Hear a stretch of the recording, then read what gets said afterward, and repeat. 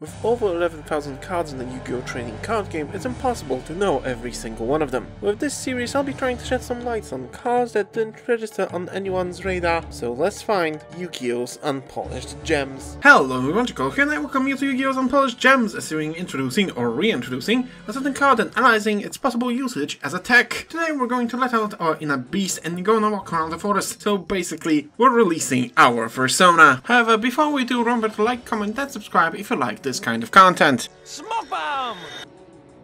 Ah. Much better, at least for the remainder of this video. Now, let's have a look at Closed Forest. Closed Forest is a field spell first released as a Yu-Gi-Oh! 5D Duel Trans promotional card all the way back in December 2010. Later reprinted in Astral Pack 1 two years later and in Battle Pack 3 two years after that. The card has seen competitive play pretty much on release, with the last recorded placement being from January 2018's regional in Fargo, North Dakota, where Zach Butler used it in his side deck to get all the way to the third place. All nice and sweet, but what does this card actually do? So the effect is as follows. All beast-type monsters you control gain 100 attack for each monster in your graveyard, field spells cannot be activated, field spell cards cannot be activated during the turn this card is destroyed. At first glance, Closed Forest effect doesn't seem to be that good. Uh, 100 attack boost to all beast-type monsters for every monster in the graveyard. However, it's the latter part that makes it a very powerful tool. Once Closed Forest hits the field, no other field spells can be activated and should it be destroyed for the remainder of the turn, a similar effect will apply. It's a strong pick if you want to turn off any field spell activations, so you can say no to Magical Meltdown, Mystic Mine, Dragon Ravine, and more. It's a searchable floodgate that doesn't clog the spell and trap zones on the field. There aren't that many cards that share those characteristics with Closed Forest. Even with all its good points, the bad points might actually outweigh them, since with the abundance of non-destruction back removal, especially Cosmic Cyclone being used more frequently, the floating effect is not as prevalent, and with that, Closed Forest can be easily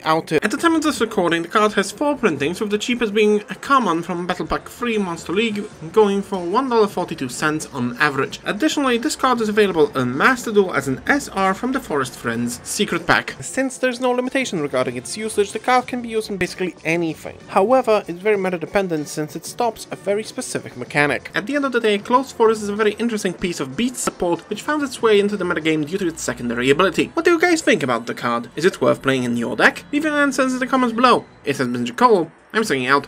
Peace! Okay, now I have to get out of this